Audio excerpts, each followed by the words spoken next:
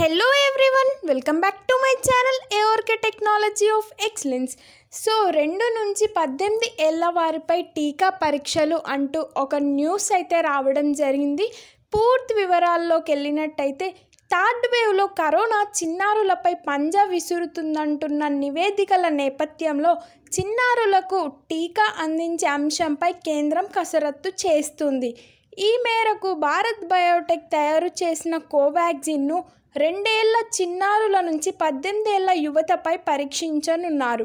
రెండు మూడో దశ ప్రయోగ పరీక్షల్లో వారిపై కోవాక్సిన్ను ప్రయోగించవచ్చని నిపుణుల కమిటీ సిఫారసు చేసింది. దాదాపు ఐదు వందల ఇరవై ఐదు మందిపై క్లినికల్ ట్రయల్స్ జరగనున్నాయి. సో రెండు సంవత్సరాల నుంచి పద్దెనిమిది ఏళ్ళ వారిపై కూడా వ్యాక్సిన్ ట్రయల్స్ అని అది చేయడం జరుగుతుందంట. సో ఐదు వందల ఇరవై ఐదు మందిపై క్లినికల్ ట్రయల్స్ జరగనున్నాయి అను అని న్యూస్ అయితే రావడం జరిగింది.